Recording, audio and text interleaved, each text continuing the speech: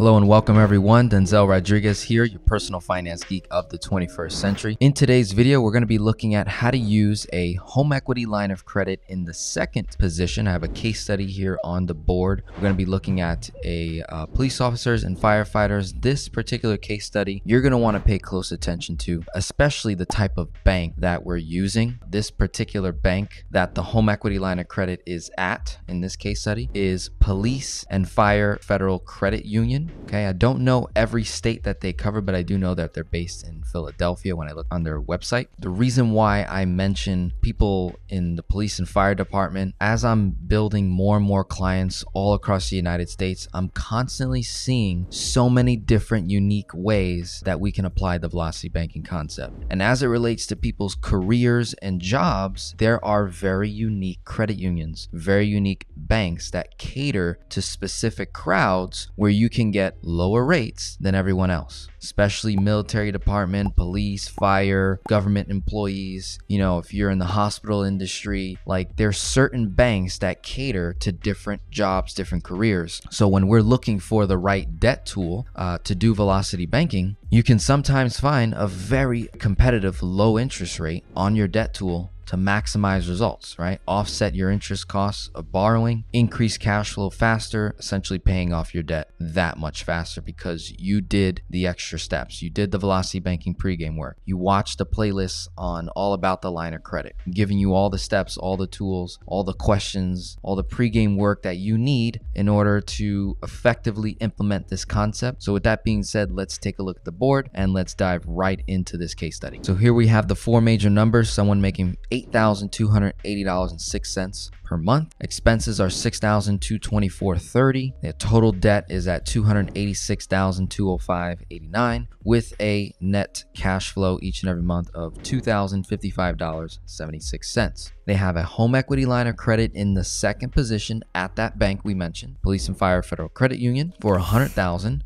They previously had a $50,000 credit limit with the same bank and then they increased it to 100,000. The interest rate did go up, so they were previously at 3.75%. And because of the, the high interest rate environment, interest rates are going up. So we do have a new interest rate at 4.75% simple interest. Here are the debts. We've got one uh, loan, two mortgages, a credit card at 0%, another mortgage, and then a second HELOC on another property, on one of these other properties here. So this person has two HELOCs total. One is at 4.75%, 100K. The other one's at 6.74%. And the credit limit is 50,000. So in this case, when you're in a situation where you have maybe multiple debt tools, sometimes it can be a little bit difficult to decide which one to use. In this scenario, it's pretty obvious the one that we want to do velocity banking with is typically the one with the lower rate, maybe higher credit limit.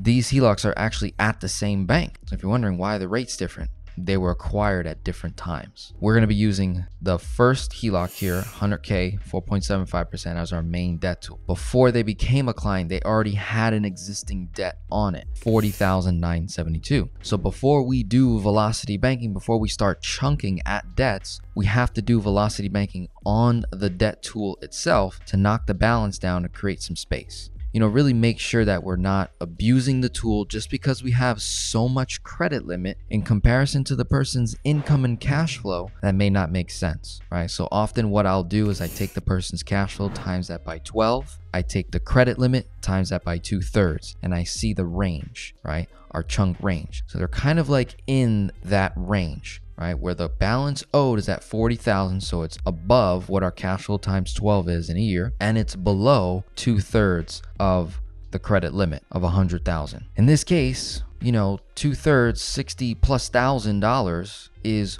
way higher than their cash flow times 12, we don't want to be over leveraging ourselves. We want to put ourselves in a good position where we can completely offset that borrowing cost and put us in a position where we can make an effective chunk out of debt and increase our cash flow immediately so that whatever money we're moving into the line does not increase our borrowing costs, right? Based on what is already owed. So we do owe on the HELOC doesn't mean we have to wait to hit zero before we make the chunk. And we're gonna find out what that range is, and this will vary based on what we're trying to do. In this case, the person's goal is to pay off debt. That's what they wanna do. They wanna knock out debt extremely fast. They wanna increase their cash flow. They wanna save money on interest. So that's what we're gonna do. The first debt that we're looking at, the most attractive one, I actually went in order in terms of the debts that we're going to hit. So starting with this loan, 17,951.40, monthly payment 787.25 cents, amortized at 12.49%. 12.49% is extremely higher amortized than 4.75 simple interest. So by simply moving that debt into the line is going to put this person in a very good healthy position. But I don't want to do that right away. I don't want to move that debt into the HELOC right away and increase my balance to over 67,000, right? That's breaching the max leverage in that line. The other thing I'm taking into consideration is that this person is brand new to the velocity banking concept. So I want to get their feet wet. I want them to get used to moving money in and out of the line of credit because this is a second position HELOC, it requires that we have a checking account as well. So when we're doing velocity banking with a home equity line of credit in the second position or a personal line of credit, it requires that you also have a checking account linked, preferably at the same bank to increase efficiency, minimizing your interest costs of borrowing. In this case, we have our second lien HELOC right here and the checking account at the same exact bank. All my income, all my paychecks, all my bills are coming out of this checking account that's at the same bank as my second lien HELOC. What happens is on the days I get paid, it immediately, that paycheck immediately goes right into the HELOC. That is considered a payment. So it satisfies the payment of whatever month I'm in for that HELOC. So there's really no payment ever due on the HELOC because you're always paying paying it in advance with your paycheck. So paycheck lands, moves right into the into the HELOC. I now have a zero balance on my checking account. From there, I have a third account, which is the credit card, cashback rewards that can be used to run any and all bills that can be paid with a credit card. So we're swiping, we pull out the wallet, gas, food, miscellaneous, phone bill, you name it. Anything and everything that can be paid with a credit card, we're gonna swipe it on that third account, that credit card right here. Getting cashback rewards, which is gonna help offset the borrowing costs over here, which means that my income can sit in the HELOC for a longer period of time, lowering that 4.75% rate down to less than 2%. Very powerful. So interest cost of borrowing is going down. Cashback rewards increasing. Less actual dollars have to come out of the HELOC to pay that credit card 25 days later when it's due. Any and all bills that cannot be paid with a credit card, like a mortgage payment, car payment, any other debt payments, right? Or any other bill that cannot be paid with a credit card, it's to come directly out of the checking account. But if your checking account's at zero, what do you do? You withdraw, transfer money out of the HELOC, what you need, only what you need and when you need it throughout the month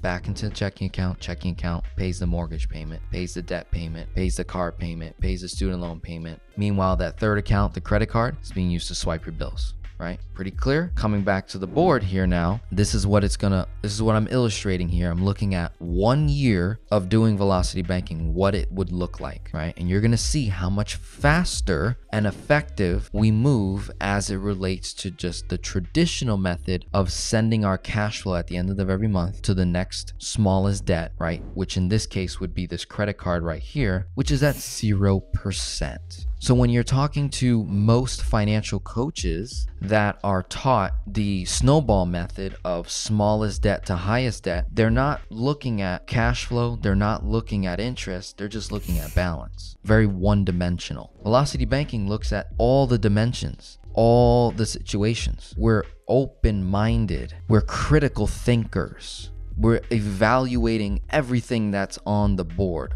All of our cards are on the table and we're running the numbers of each scenario. So that can be very advantageous when you're a critical thinker. You think for yourself, you're open minded, you challenge the norm, allows you to think way outside the box. So instead of hitting a debt that's at 0% just because it's the smallest debt, we're looking at cash flow, interest savings, then balance. That's typically the route we go. So when you look at these different debts, this right here is the most attractive. Highest interest rate, highest amount of cash flow gain day one, and a relatively decent balance that can fit in the HELOC that doesn't increase our leverage too much. So we're in September of 2022 as I'm recording this video working with this client, and here's what they're gonna do. They have money in savings. They have $25,000 in savings. They're taking roughly 10,000 or more of those dollars and they're gonna park it in the HELOC principal which is going to bring that balance down from 40 down to 30. As I'm recording this video, when the last time I spoke to them was on September 15th. They have a paycheck coming in that day. This is a bi-weekly uh, salary type of a person. So they receive a pension paycheck because they retired from the police department, but they also still work in the police department, right? So they still have a, a, a job and they receive bi-weekly paychecks. So they got one on the 1st of September. Now they're getting one on the 15th. And the next paycheck will be on the 29th, I believe because this month is a three paycheck month, which is pretty cool. Their pension hits on the first of every month. Now, for this particular month in September, October 1st falls on a weekend, so they'll actually get paid before that. So they're actually going to get paid in September on the 30th. So there's going to be quite a bit of money coming in for the month of September. And this is the uniqueness in velocity banking, which accelerates, allows us to go much faster, is how we're getting paid, when, and how the money flows, creating that velocity effect. We're increasing velocity way faster, much faster than having to wait till the end of each month till I have all the cash flow to make a payment towards a debt. So 10k cash goes in, we got that paycheck, 1346.94. Boom, that goes in brings the balance down to 29,625.06. We have that pension coming in that is technically for October, but it hits in September, and then that last paycheck. And then there's roughly about $3,600 left of expenses. So that'll bring the ending balance in September, end of September, somewhere around 28K. Again,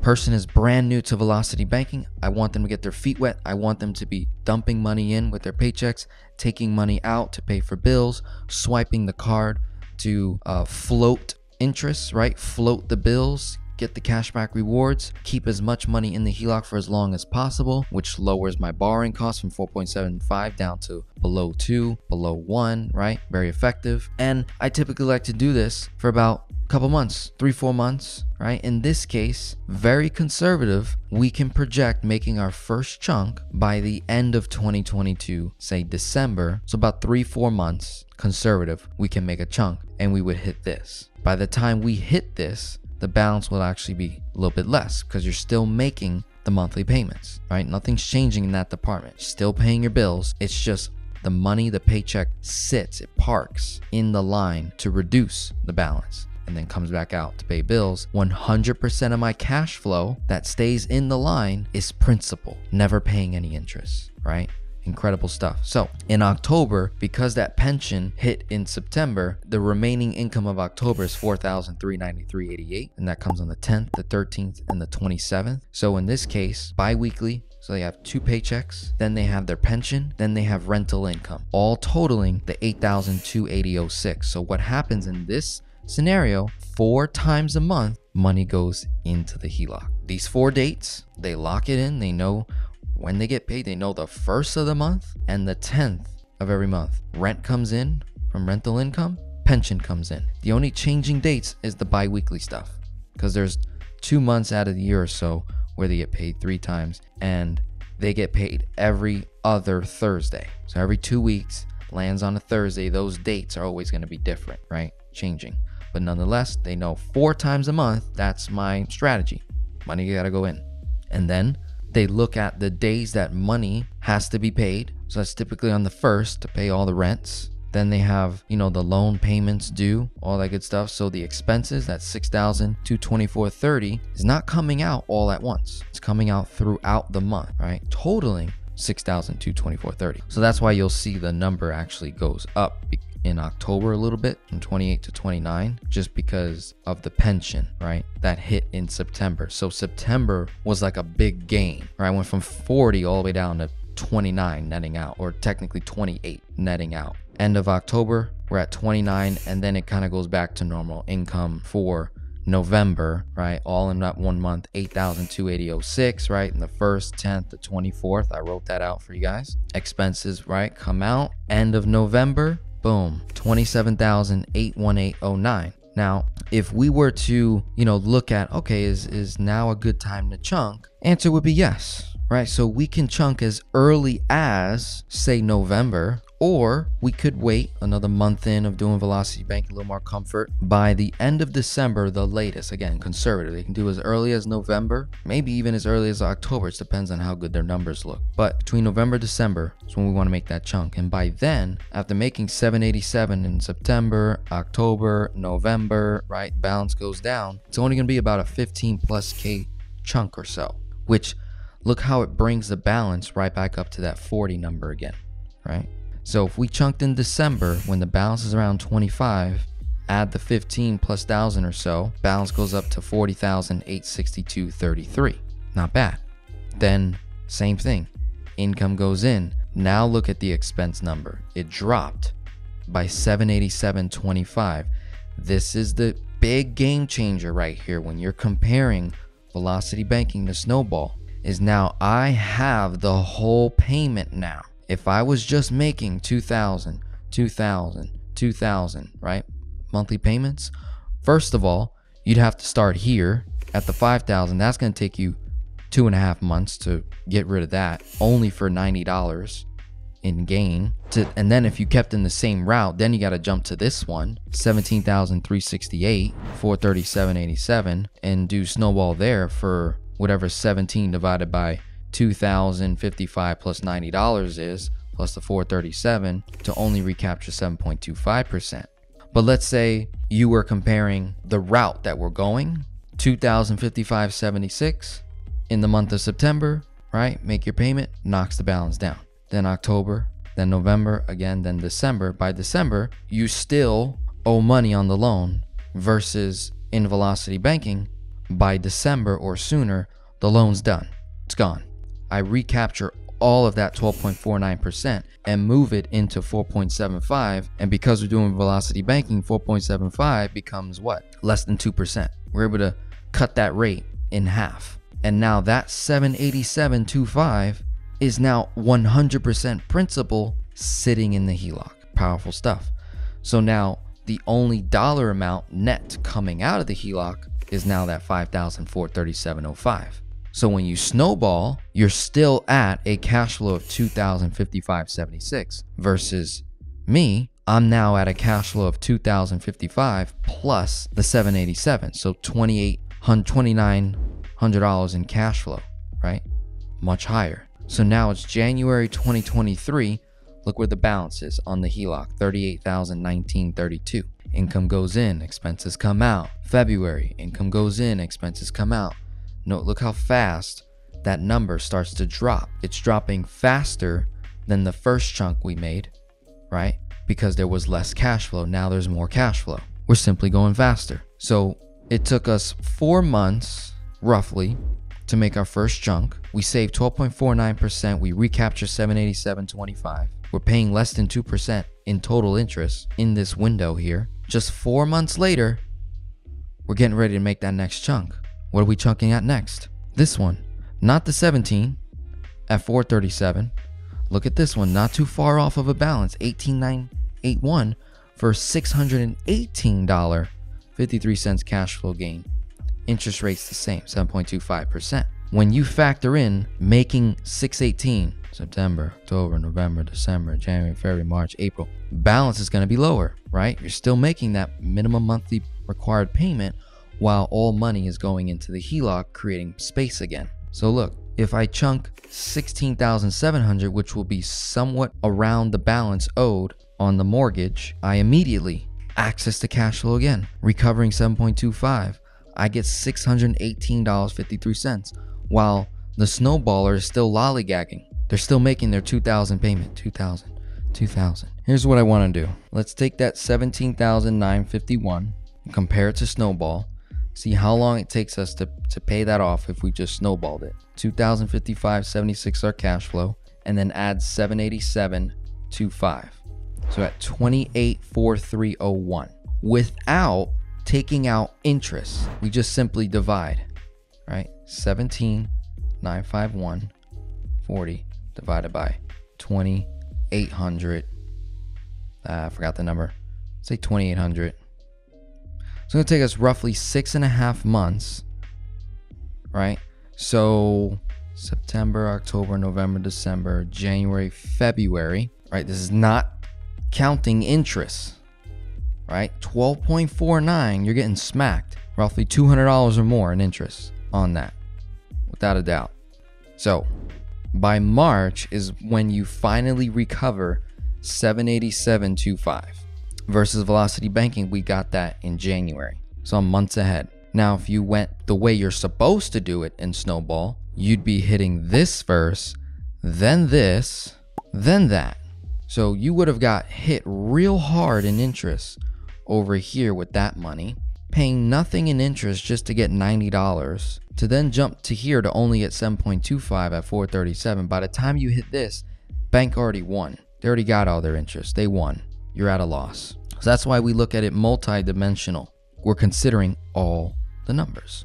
So by April, velocity banking, I make a chunk. I now get 618.53. And look what happens to my expenses now. Now they're at only 4,818.52. Balance goes up to 46. Income goes in, expenses come out. End of May, we're back down to 42. We went all the way up to 46, come back down to 42. June, July, right? So we go one, two, three, four, five. So typically you'll see my videos every four to six months, six to nine months, we want to be chunking. Typically, that's how it usually pans out. Look how perfectly it's lining up with these different chunks. So what would be the next chunk? Boom. Now we go after the the 1736 mortgage for the 437 cash flow at the 7.25. That would be that would be the third debt we hit because we're looking at cash flow, guys. Looking at cash flow. So then check this out. By the time we get to this chunk to hit this debt, you, you've been paying 437 for a year from September all the way to September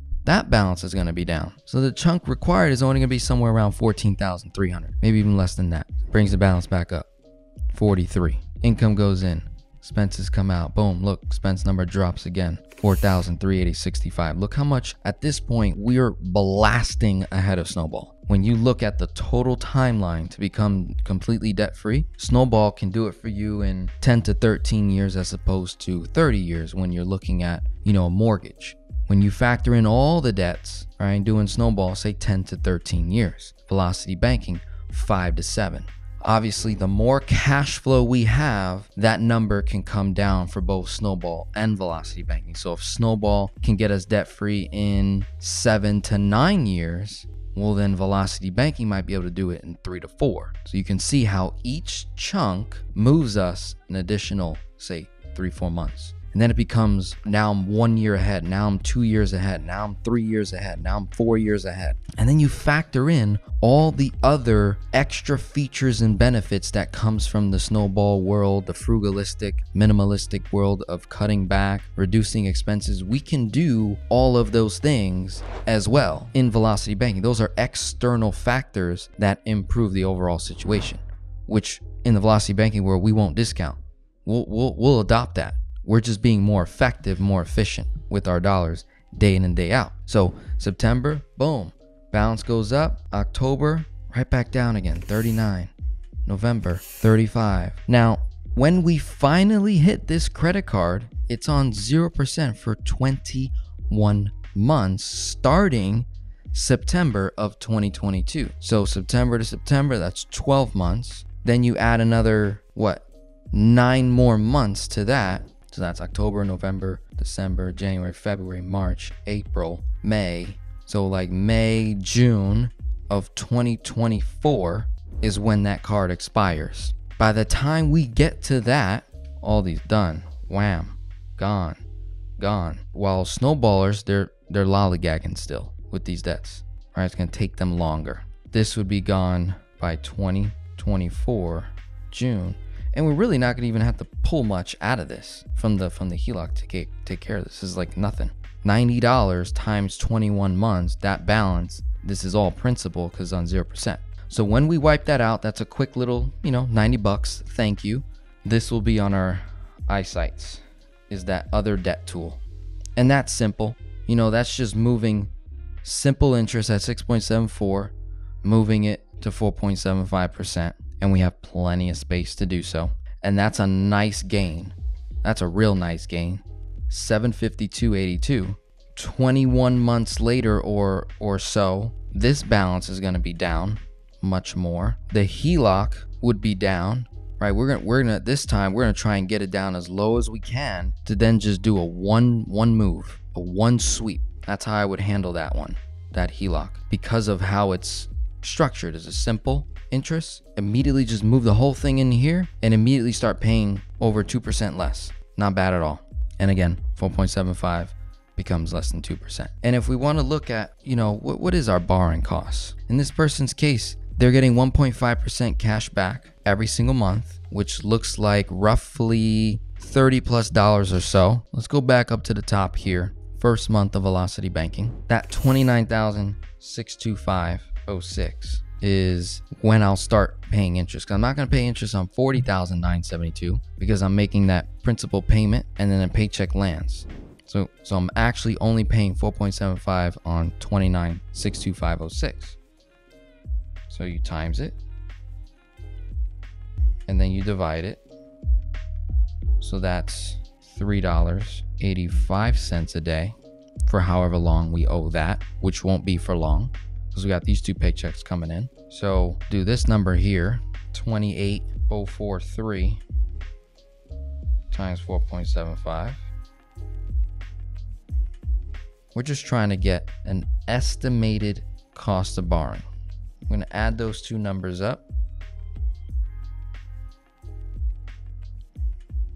Divide it by 2 times 30 days.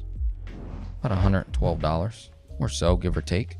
This is an overestimation, guys. Because then you got to minus the cashback rewards and then understand that we're only paying interest every day on whatever that balance is on that particular day. That's how that works. So if I was just take the $100 and then you look at the the following months, every month thereafter, the balance goes down. So by the time I get to month 4 to 6, the interest is so low that's an indication hey we need to be getting ready for the next chunk. So that's why you usually always see me say yeah every four to six months or six to nine months make that next chunk. Because by the time you hit month four month five month six you're literally paying nothing in interest because it's now it's being offset by those cashback rewards. It becomes zero. So now it costs you zero dollars to hold a debt of say 25k ish 28 26,000 doesn't cost me anything to hold that amount of money. So that's like my new zero.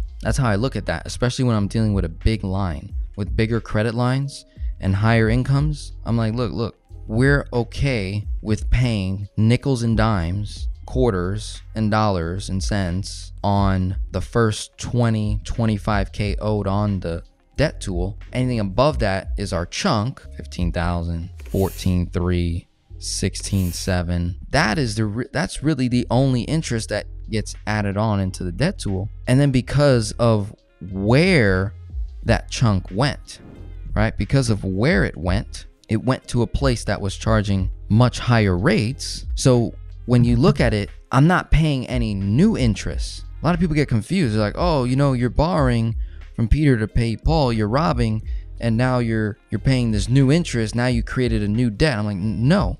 No new debt was created. All i did was move one debt to another location where my money can be applied together stronger right? It can be more effective in another location. And i'm paying the same interest that i was going to pay in this payment right here. This payment was over $200 in interest I move it over here, now it's less than $100 in interest. And the cash flow is all principal, so the, the balance gets eliminated. You're literally canceling interest. It's literally what you're doing. Never shows up because of the way the interest is calculated here in simple interest versus amortized. Simple interest needs time to accrue the interest versus amortized, it's already front loaded. So if you eliminate the front load by paying it off, not down each and every month, but paying it off and then moving it into another location, And now you need time to accrue interest in that new location. So look how much damage we do in just one year. Three major debts get eliminated, technically four, right? By September. Because this will actually get eliminated like in 2024. We're not going to pay that off any sooner. And then once that is done, then we're looking at that HELOC. That'll be next. And depending on how this person feels, looking, listen, we're more than open. My client and I, we're open to seeking out opportunities to now increase the top line number. Velocity banking tends to focus on the bottom line quite a bit, you know, reducing your expenditures by eliminating debt, right? Eliminating debt. That's awesome. But then we also take into consideration the idea of increasing the top line, which is our income. So if they get to a point a year from now, two years from now, they've eliminated all the debt except for that primary mortgage at 6%, it only cost them 729.16 a month. So they might be saying, you know what, Denzel? Inflation is at over 10%. Taxes are going nowhere but up. Government is acting wild. I'm gonna build a business. I'm gonna create freedom for myself and I'm gonna fight for it by increasing the top line. Because they now know how to be an effective borrower and a lender that lends to many nations. Oh dear, that allows us to increase our cash flow tremendously. Now that we have the mental fortitude, the disciplines, we're no longer in fear of debt. We don't fear debt in this community. We literally have control and authority and confidence over debt, not through avoidance, but through practical discipline use, strategic use of the debt. We have confidence to own and manage and steward debt effectively and actually use debt to create more income and cash flow, reducing our tax liability, increasing cash flow, right? All these different things. So this is powerful stuff. Not bad at all. So I'm more than happy when the client comes to me and says, you know what, the HELOC is at, you know, we got it down to, you know, 20,000 or so, and I see an opportunity to acquire property. Right? So instead of paying off debt, they're going to acquire more debt that creates more cash flow. Or they're like, I want to start a biz. I want to start a business that can increase their income by 50% by 100% so they 2x from 8 to 16000 a month which increases their cash flow by 4x not bad at all we're open to that so that's what i'm saying we look at this like multi-dimensional. We're looking at all of the different layers. We're looking at all angles, all edges of the whiteboard. My name is Denzel Rodriguez, your personal finance geek of the 21st century. On this channel, we cover the velocity banking concept, infinite banking, and kingdom authority, bringing faith and finances together, making the logic and the spiritual all make sense. You want to work with me one to one? Click the links in the description below where you can check out all the different resources I have in terms of getting all the tools you need to position yourself for financial coaching and consulting, more than happy to help you there. Go to my website, denzelrodriguez.com. You can check out all my financial services that I provide, right? Primarily, I'm a strategist. So I'm gonna coach you through. We're gonna iron out all the numbers. We're gonna take, I'm looking at all the numbers down to the penny to see what is our next best move, right? Moving forward. How can we be most efficient in what we're doing? You can also get into my private community. That's the first link in the description below of every single video that I have. It says join my private community. You get invited to the Facebook group. You can see what other people are doing, get some insight there. You know, if you're broke, cash flow is really low. I do have a ministry and I have opportunities where you can earn coaching for free. All right. We don't do handouts here. Everything is by your works and your faith put together. Okay. Your faith and your works come to play here. They come to get maximized here. And then my goal is to build you up so that you can invest in yourself to go even further. So I work with people making as little as 30, 40, you know, thousand a year, single mom, household mom, to people making multiple six figures, even seven figures, all implementing these concepts to accelerate their business finances, their personal finances, just building that inner strength, that mental fortitude around our finances. We become masters over our money. So check those links. If you're not ready, keep watching the videos. Can't tell you how much people are not clients of mine that have become debt free, that have built businesses, that have increased their cash flow, just look at the comments. Look at the testimonies of the different case studies. I always shout these people out. I always let them know, hey, thank you so much for just simply watching what I'm doing and then going and applying it, not just watching it for entertainment. I'm not in the business to necessarily entertain you. I need to keep you engaged. So I do different things, keep you entertained. But for the most part, I want you to transform your mind. I want you to transform the way you look at money. So that's all for now. Have a wonderful day and God bless.